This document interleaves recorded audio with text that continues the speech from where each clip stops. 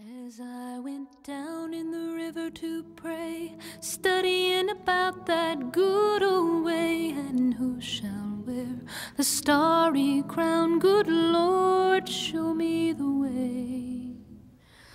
Oh, sisters, let's go down, let's go down, come on down. Oh, sisters, let's go down, down in the river to pray. As I went down in the river to pray, studying about that good old way, and who shall wear the robe and crown? Good Lord, show me the way. Oh, brothers, let's go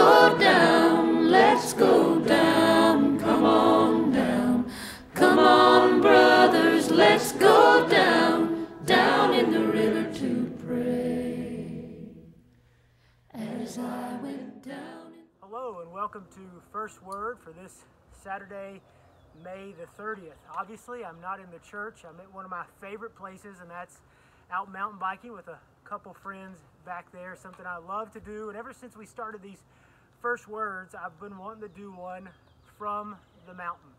And uh, this past week, Pastor Clay read a passage of scripture, and he mentioned this very scripture that I want to look at today, where Jesus was on the mountain. In Matthew 14 23, it says, And when he had sent the multitudes away, he, Jesus, went, went up into a mountain apart to pray. And that's what I want to talk to about to you and myself and every one of us is where is your mountain? Of course, I'm not referring to where's your mountain bike trail, where's your hiking trail, and no, you don't have to go to an actual mountain to pray, but are you taking time in your daily life to be alone with God? To separate yourself away from the busyness of life and spend time in the Word and spend time in prayer, talking to God and listening to God? Where's your place? Where's your separate place? Where's your quiet time? Where is your mountain? It says Jesus sent the multitudes, or some trans- translations, the crowd away.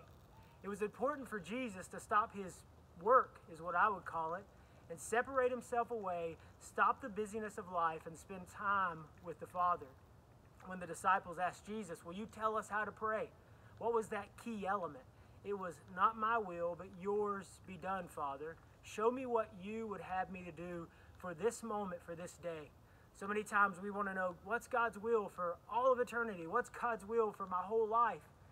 But we can't come to those big things, those big picture things, unless we daily say, God, what's your will for me right now? What's your will for me this day? Jesus, before he went to the cross, was with the Father. Throughout the Gospels, you find times where he stops to pray away from the busyness. He finds that mountaintop experience, that quiet time, and he just talks to the Father. So I want to encourage you with this beautiful scenery behind me and this actual mountain that I'm standing on here. I want it to be a visual reminder to each and every one of us to take time, find your mountain, pray, listen to God, study His Word. Until tomorrow evening, well, tomorrow morning at church, we hope you have a great evening. God bless. to pray, studying about that good old way, and who shall wear the starry crown? Good Lord, show me the way. Oh, fathers, let's go down,